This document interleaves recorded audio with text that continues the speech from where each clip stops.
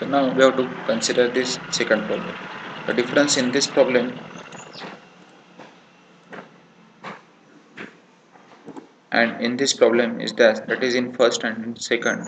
Here for this first problem we define the same area for all truss member. That is 400 mm square for all the truss member. In this problem we define the area for this member is as 250 mm square and for this member as it is 200 mm square. That is area for both members are changes okay? So we consider analysis that is open ANSYS APDL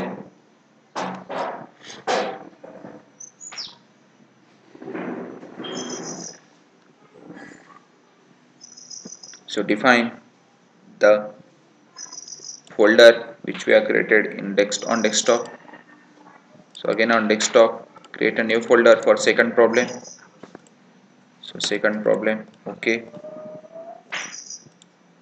So second is selected and suppose job name is defined as a 2 ANSYS and ANSYS multiphysics. So run this. Now same procedure. First find out the key point node point. Suppose this is 1 this is 2 and this is 3 okay.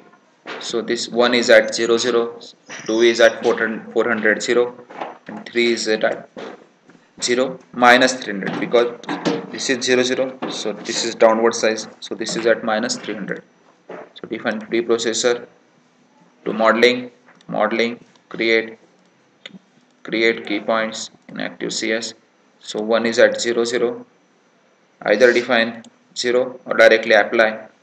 2 is at 400 0 apply. And 3 is at 0 minus 300 okay. So these three key points are created. Now second step is create line line straight line. Pick this extend up to pick this extend up to this. Okay. Okay. Now the next step is we have to define element type add element add the link element 3d strand 180 okay. Close this. Now as it is here two areas 250 mm square 200 mm square. So okay. Now go to real constant add none define add. Select this one. Okay. As we have to define two areas so this real constant set number one that is one which has area 250 okay. Again we have to define set 2 for the area 200 mm square. So go to add select this one. Okay. So automatically it takes 2 so define cross section area as a 200 okay now two sets are defined. Close this box. Real constant are defined. Now go to material properties material models structural linear elastic isotropic.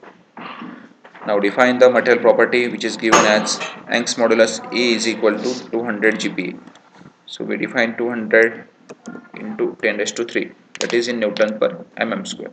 So okay. That is PRX value